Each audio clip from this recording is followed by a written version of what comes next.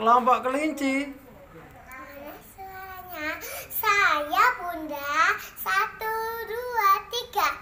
Kelompok kami, kelompok kelinci. Kelompok TK Ista Hati. Jangan lupa siapkan diri untuk melaksanakan.